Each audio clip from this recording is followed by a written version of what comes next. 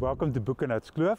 Uh, my name is Gottfried Mocke and I am part of the winemaking team here.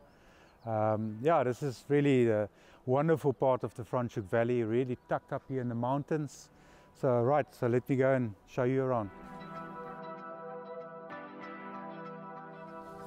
All right, so this is the crush area. Um, this is where we do the, actually the vinification. So the alcoholic fermentation takes place here. Um, this is the area that we only use for three months of the year.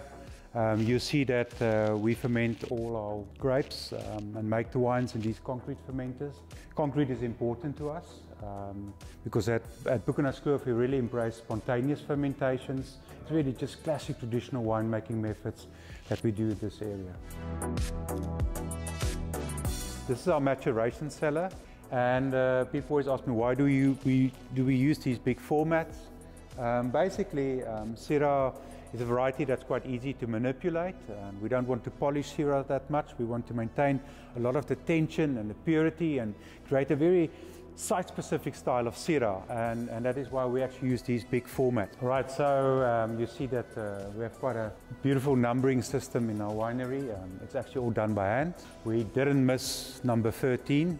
Um, it's not there with a reason um, because we believe it brings bad luck into a winery. This part of the winery was finished in 2017. It's about 60% underground, um, really just to maintain a high humidity, um, low temperature, um, very energy efficient. And when we changed to this new um, maturation area, uh, we decided to go with the OXO 2 system.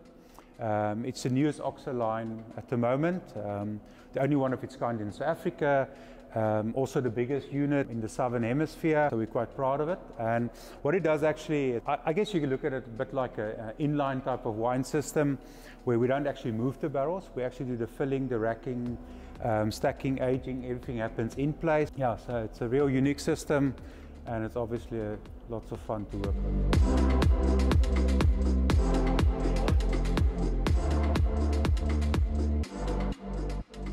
So welcome to the Boekenhoutskloof tasting room and I'm going to explain the four ranges within the Boekenhoutskloof family. First we have the Porcupine Ridge, which I'm going to show you the Syrah. We have the Red Wolf Trap and then also the wine that everybody knows, the classic Boekenhoutskloof, the Chocolate Block. This will be also our new vintage of the Chocolate Block and then the Seven Chairs and I'm going to talk about the Boekenhoutskloof Stellenbosch Cabernet. So here in the glass I've got the 2016 Stellenbosch Cabernet.